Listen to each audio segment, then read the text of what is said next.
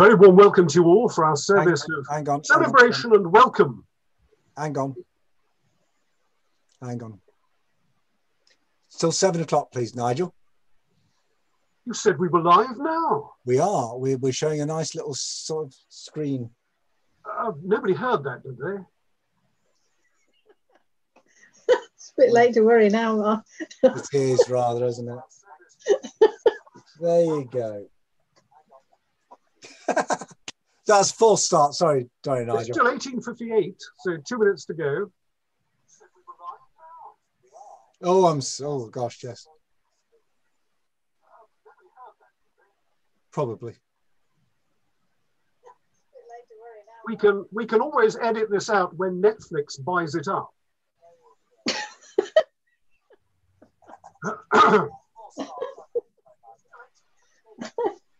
Chris, Carol, Rachel, you're still all muted.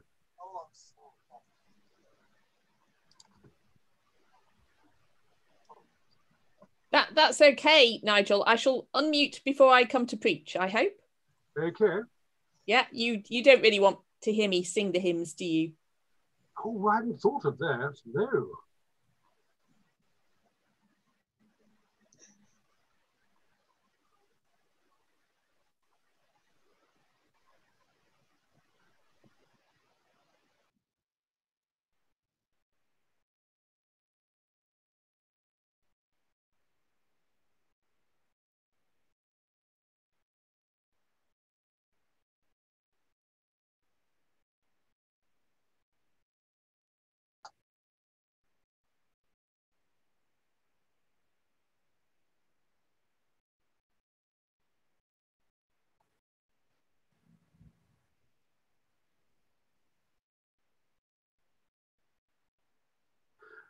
A very warm welcome to you all for our service of celebration and welcome for the Reverend Chris Ambler, whom the conference has appointed to serve as presbyter in this, the Cannock Chase circuit. We welcome Chris into our circuit family, along with his wife, Jackie, and daughters, Carrie and Rachel. We offer them our warmest greetings and ask God's blessing on their ministry among us. As always, it's a time of change and challenge for our circuit. In April this year, we welcomed three new lay workers, Mark, Melody, and Rosie, whose commissioning service, along with our existing workers, will be celebrated in due course. It might be on Zoom, or if we're very lucky, it could take place in real life. The COVID 19 pandemic has been a time of trauma and anxiety for many, and as church buildings are beginning to reopen, there's a widespread recognition that its repercussions will continue to be with us for many years. The personal and social and economic impacts of COVID 19 on our churches and communities are significant and provide both an immediate and long term context within which our ministry and mission will be exercised over the next few years. At the same time, the lockdown has proven to be a time of great creativity in our churches. Our life and witness has continued, and we have learned things in a few months, which in normal times might have taken us several years. We don't want to lose what we have learned, nor the opportunity it creates for us to reflect on what we really need for the future. The business of ministry, as you know, encompasses a vast and varied array of tasks and duties, which I know will be well served by Chris's skills and wisdom and experience, especially with his heart for work with Food Bank and Night Shelter. Chris from Halifax originally comes to us having served as superintendent minister in the Stoke North Circuit with his background in both the carpet and travel industries, we expect that his expenses will be low, as he'll surely be getting around on a flying carpet. Thank you, Mark and Carol, for setting up this service on Zoom and for weekly circuit services shown on YouTube. I'd like to thank our, our circuit stewards in particular Beryl Lovell and Neil Embry for their work in Chris's relocation, including a short stay in the Premier Inn, which acted as a sort of substitute Noah's Ark in order to survive the Great Flood. And to thank you all for the work you do, for the time and talents you offer, and ask God's blessing on our work and witness together as a circuit. It's good to have with us the Reverend Rachel Parkinson, chair of the Wolverhampton Shrewsbury Methodist District, who will be preaching this evening. After a time of quiet, we share in the peace which Jesus Christ offers to us and to all the world.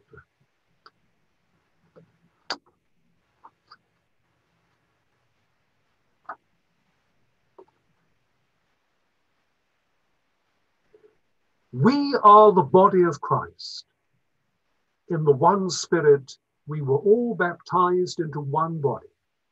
Let us therefore keep the unity of the Spirit in the bond of peace. The peace of the Lord be always with you.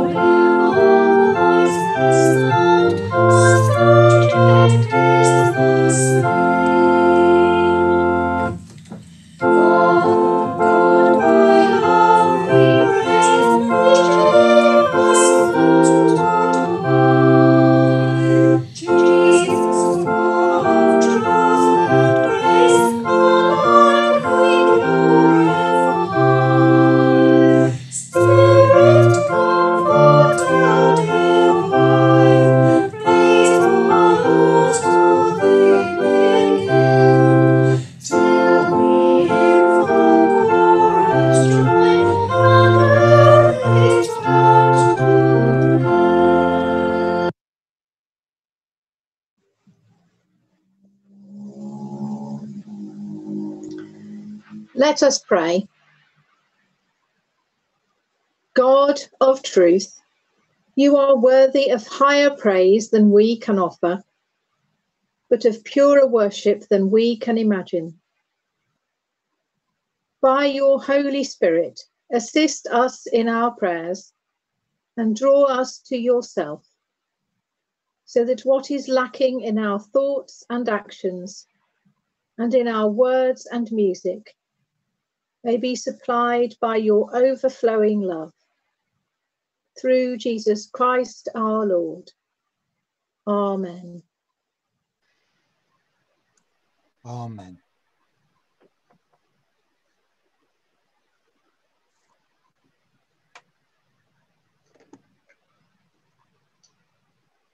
Gracious God, when we do not listen to you for your word in the words of others, Forgive, forgive and, and renew us. renew us. When we do not use the gifts you have bestowed on us, Forgive, forgive and and renew us. renew us. When we do not love one another as sisters and brothers in Christ, Forgive, forgive and renew us. renew us. When we do not serve our neighbours in their need, Forgive, forgive and renew us. When we do not share the good news with those around us, Forgive, forgive and and renew renew us.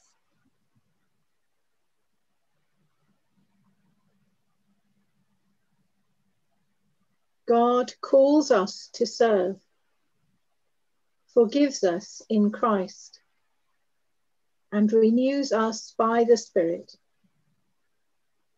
Amen. Amen. Thanks be to God.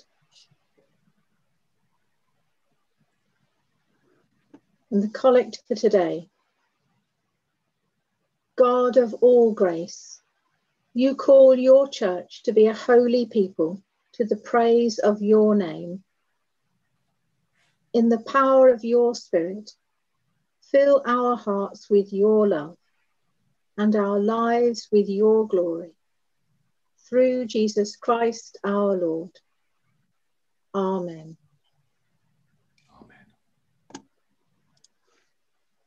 The first lesson is taken from Isaiah 55, verses 8 to 11. For my thoughts are not your thoughts, nor are your ways my ways, says the Lord. For as the heavens are higher than the earth, so are my ways higher than your ways, and my thoughts than your thoughts. For as the rain and the snow come down from heaven and do not return there until they have watered the earth, making it bring forth and sprout, giving seed to the sower and bread to the eater. So shall my mouth be that goes out from my mouth.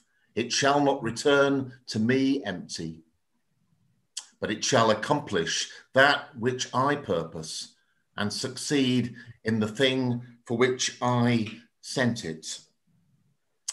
This is the word of the Lord. Thanks Thanks be to Thanks be to God. The second lesson is from Acts chapter 16, verses 6 to 10. They went through the region of Phrygia and Galatia, having been forbidden by the Holy Spirit to speak t- the word in Asia. When they had come opposite Mysia, they attempted to go into Bithynia, but the Spirit of Jesus did not allow them. So, passing by Mysia, they went down to Troas. During the night, Paul had a vision. There stood a man of Macedonia, pleading with him and saying, Come over to Macedonia and help us. When he had seen the vision, we immediately tried to cross over to Macedonia, being convinced that God had called us to proclaim the good news to them. This is the word of the Lord. Thanks be to Thanks God. be to God. Give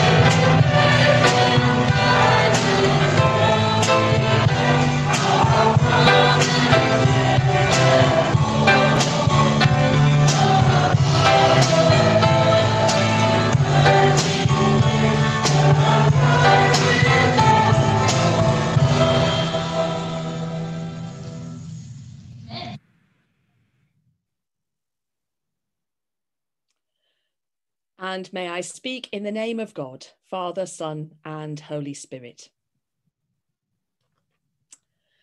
It's become my practice to ask ministers new to the district if there's any particular scripture passage they would like as part of their welcome service.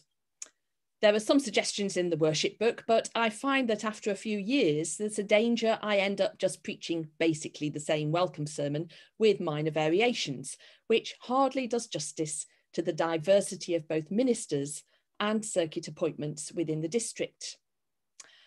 That's how this evening we come to be reflecting on this passage from the book of Acts, which Chris has suggested. One of the things I didn't ask Chris is what it is that he really takes from this scripture, which might mean I've seen something very different and will preach a different sermon from anything he might have expected. But if this happens tonight, it will be entirely in keeping with this story about Paul and Silas and their adventures. Let's start a little further back in Acts 14. Paul and Barnabas have made their first missionary journey. They were away perhaps a couple of years, visiting Cyprus and then setting sail to what is now Turkey, travelling away inland before retracing their steps and returning home via Antioch in Syria. There, they called the church together and told everyone how God had opened a door of faith for the Gentiles. Hooray! Alleluia! A short time later, Paul suggests to Barnabas that they set out on a sort of comeback tour, revisiting the churches they have planted. What might have happened then? Well, they might have agreed and gone back over old ground, and they might have kept on going back over old ground ad infinitum till the new places they'd planted for new people had become old and established. But that's not what happened. Paul and Barnabas had a blazing row over who should go with them. And out of this conflict, they go their separate ways. Barnabas starts a solo comeback tour in Cyprus, whilst Paul sets off with Silas picking up Timothy on the way and together they push on into new territory, heading northwest towards the Black Sea. Paul, Silas, and Timothy are pioneering new ground. What might have happened then? Well, God might have put a word on their lips and opened the ears of their hearers so that many were baptized in that region God might have opened doors for them and shown them the way, because that's what's supposed to happen when Christians take a step of faith and become pioneers, isn't it? But that's not what happened. Luke says that the Holy Spirit forbids them to speak the word in these regions.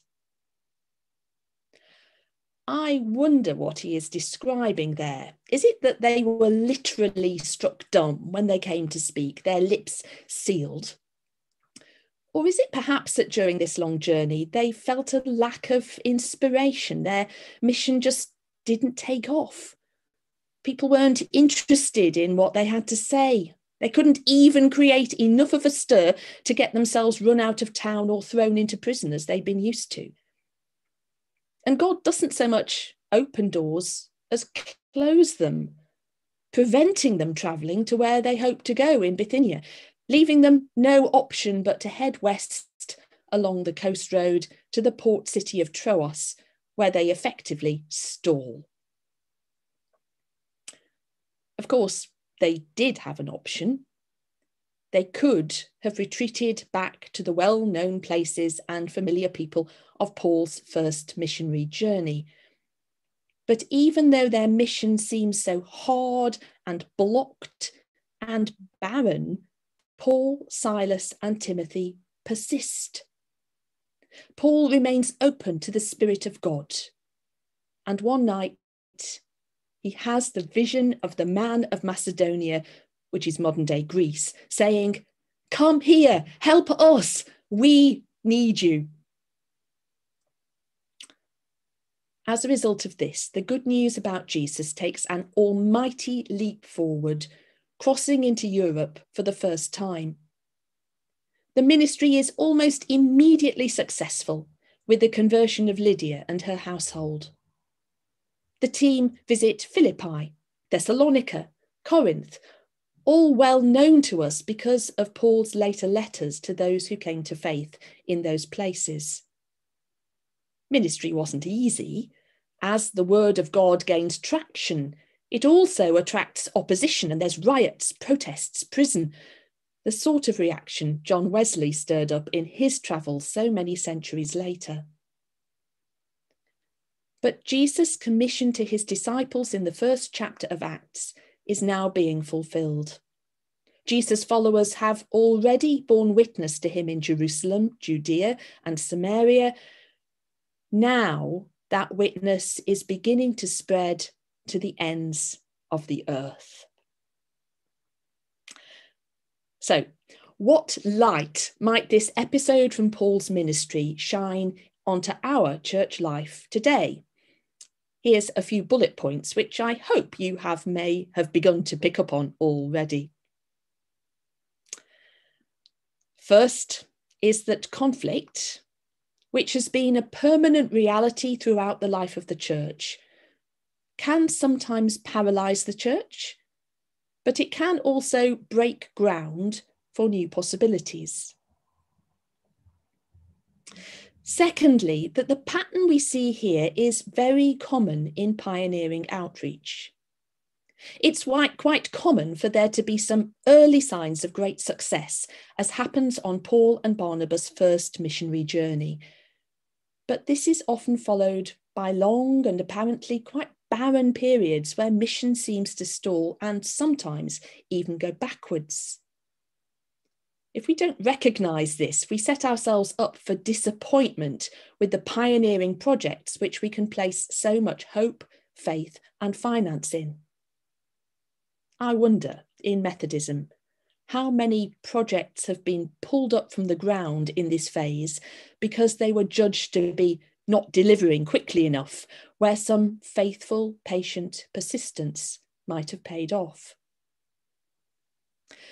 Paul shows us that when ministry enters an apparently barren phase, the temptation of making an early retreat to the familiar is to be resisted in favour of keeping on, pushing on, staying open to the Spirit even when we feel uninspired, trusting that sooner or later the vision of the man from Macedonia will show up. Come here, we need you, help us. I remember a story from my time in Leicester. A Methodist church closed when the building problems became too great to deal with. There was hurt and some conflict. But a corner was turned when the circuit decided to use some of the money released to fund new schools outreach. And I remember a former member of the church that saying that their closure had provided the rocket fuel for this project. And that felt a good, holy, faithful way of telling the story. So we recruited Jane, who was an excellent candidate for the role, a committed Christian and former deputy head teacher, and she started pushing on the doors of local schools. And we expected them to open. We had been faithful and pioneering. The money was being spent. Now, surely God would make the whole thing fruitful. But the doors stayed mainly closed for the whole of the first year. It was not the story the people wanted to hear at the circuit meeting but the circuit stuck with it. And eventually a school opened its doors. Come, help us, we need you. They opened the doors in a way which touched both pupils and their families in a diverse and needy area of Leicester. Chris has been on the road for longer than Paul, almost as long as your superintendent, 36 years as one of Mr. Wesley's travelling preachers.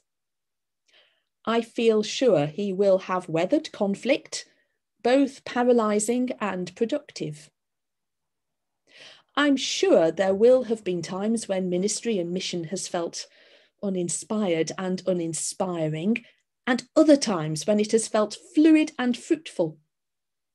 He was telling me of a recent example of stuckness when a property sale that should have been straightforward dragged on for a couple of years. But I also know that his patience and persistence led to new gospel ground being broken. Chris also arrives at a time when many doors are physically closed because of coronavirus. Like Paul and Silas travelling through the wild country to Troas, this terrain is difficult to negotiate. But Chris comes as one who will stay open to the Spirit, one who will be with you in praying for that vision from God. That person from Macedonia inviting you into areas of spiritual and physical need. I pray that the circuit will be open to such visions and willing to sail into new territory in response, so that the great commission of Jesus will be fulfilled and we will be witnesses to his saving, healing, forgiving, accepting love even unto the ends of the earth. Amen.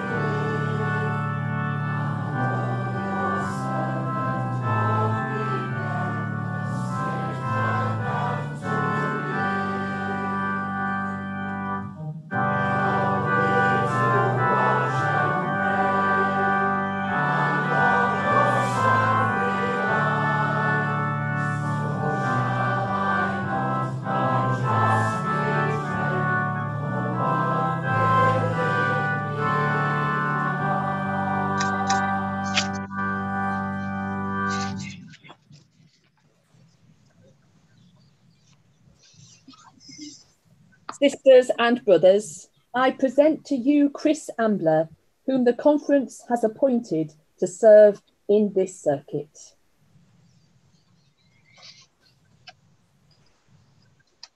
Chris, will you hold before us the story of God's love and mercy, above all the gospel of our Saviour Jesus Christ?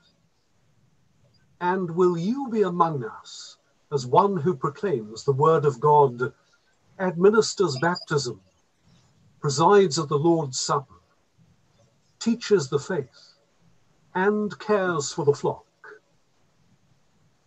I will. I ask God to help me, and I invite you all to join with me in proclaiming the gospel of life and hope. Through Christ, we have good news to share.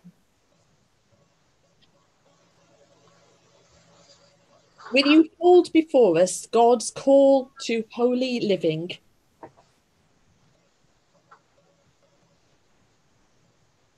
And be among us as one who awakens the careless and strengthens the faithful. I will. I ask God to help me, and I invite you all to join with me in commitment to the way of Christ. May May May we we reveal reveal Christ's Christ's way way through our words and and example. example.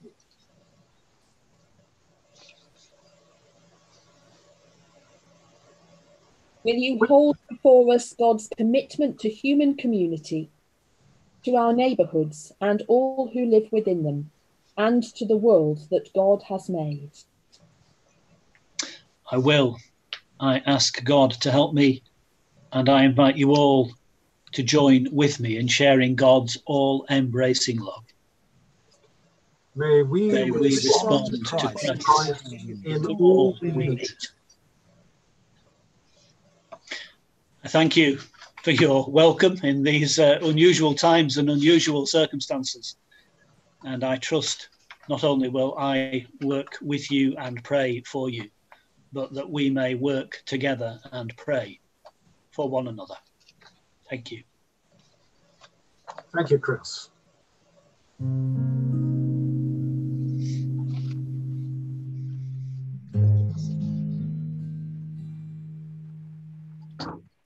Lord, you have my heart, and I will search for yours. Jesus, take my life and lead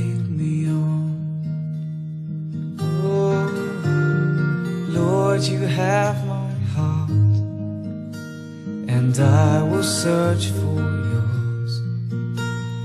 Let me be to you a sacrifice, and I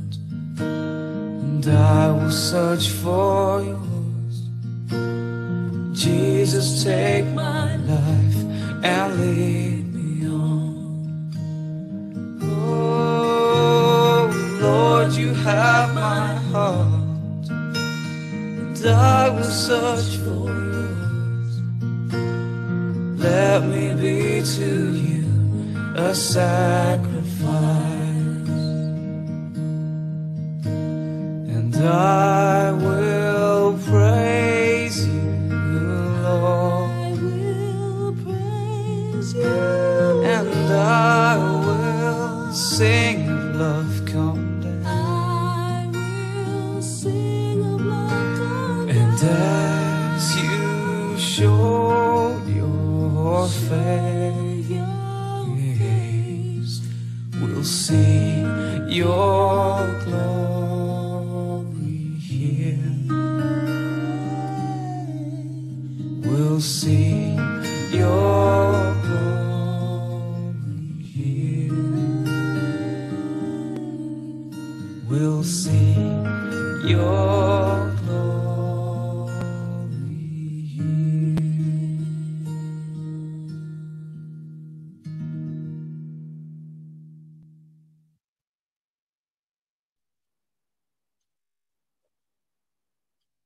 Eternal, ever living God, we pray for those who this day need our prayers,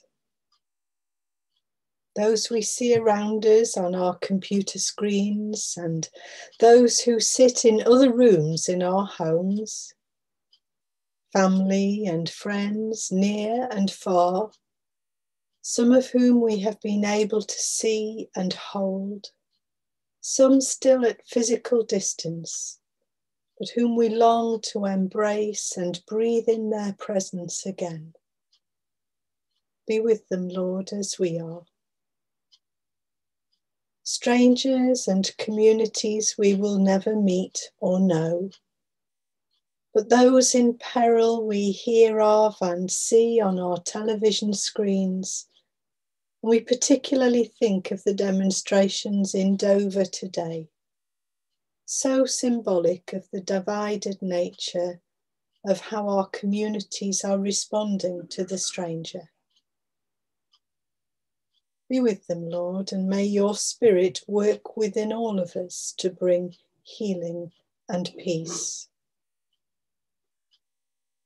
We pray for those whose life is ebbing away, consumed by old age, frailty, illness, or neglect. Lord, surround them with your gentle peace and guide them home. We pray for those who grieve deeply for lives and loves lost. And in particular, we're reminded of the call to prayer, prayers of remembrance for Methodist homes, for those who have lost their lives from to the COVID 19 infection. We pray for them and all those who are working so hard to seek a vaccine and continue to offer care in hard places. We pray for those who cause grief and chaos in society and who live seemingly with different values from ours. Different values from their victims and their families and we think particularly of those men in HMP Oakwood who have benefited from the splashes of Godlight coming from this circuit. And we pray that these may take root in their lives. We pray for those who are forgotten, unnoticed, unloved, unmissed those who use our food banks and other places of care and outreach. May your spirit continue to prompt and encourage us to be brave and takers of risk for the sake of your kingdom. We hold in our hearts and before you those who continue to fight for justice for fair trading practices, for religious freedom, for human rights, for a better environment. We pray for those who resist these endeavours because of profit, neglect, or power. Turn their hearts of stone into soft, warm, and loving hearts.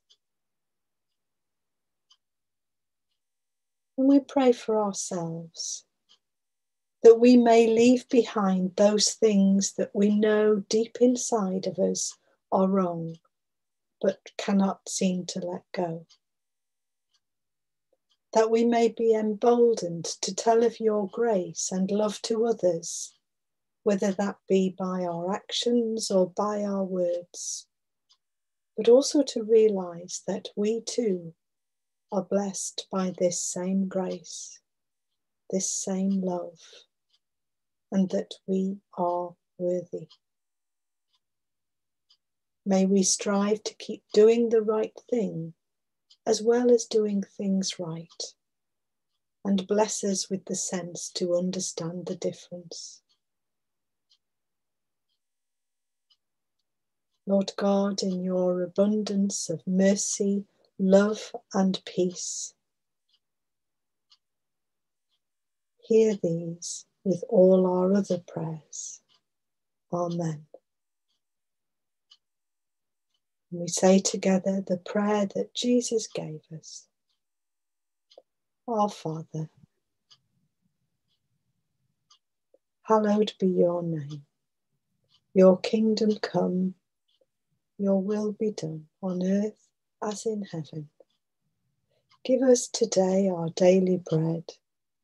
Forgive us our sins as we forgive those who sin against us. Save us from the time of trial and deliver us from evil. For the kingdom, the power, and the glory are yours, now and forever. Amen. Let us pray. Gracious God, we thank you that in every generation you reveal your love for the world and set before your people your word of life and hope. We thank you for Jesus Christ, your Son, in whom you have made known your way of perfect love, and in whose dying and rising we see your final purpose. We thank you for your Holy Spirit, who leads your people into all truth for the service and witness of your church and for the preaching of the word and the celebration of the sacraments through which you renew and strengthen us. All honor and glory be yours in the church and in the world, in time and in eternity, through Jesus Christ our Lord. Amen.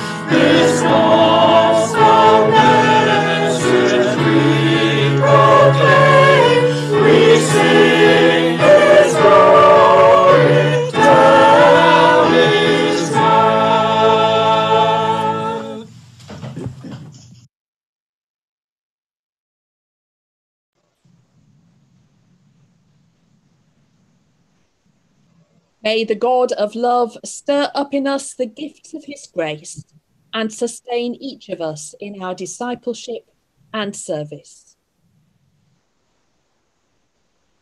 And the blessing of God, Father, Son, and Holy Spirit remain with us remain with us all forever. Amen. Amen. Thank you, everyone. Every blessing to you, Chris, and don't forget to join us for our YouTube service tomorrow, Sunday. The Lord be with you. God bless.